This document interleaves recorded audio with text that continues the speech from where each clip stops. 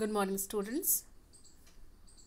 Today I am going to teach you about prokaryotic gene structure. Here you can see that prokaryotic gene consists of initiation site. Here is the initiation site. Here is transcription termination site.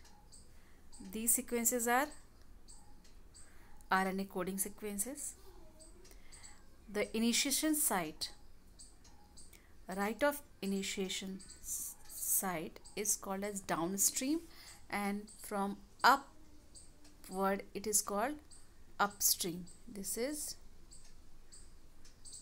downstream. Here it is upstream.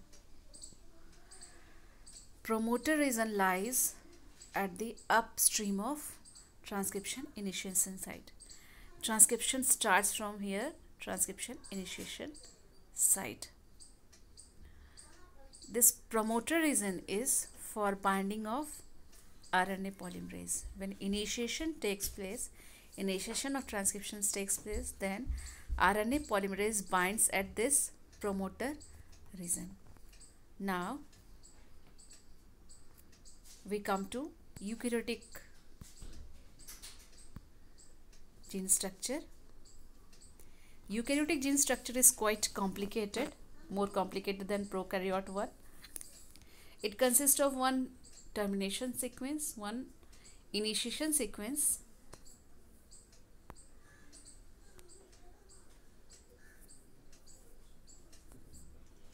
initiation sequence this is downstream and this is upstream. Promoter region and some more regulatory proteins are lying at upstream and your structurous gene is which is transcribed is in downstream.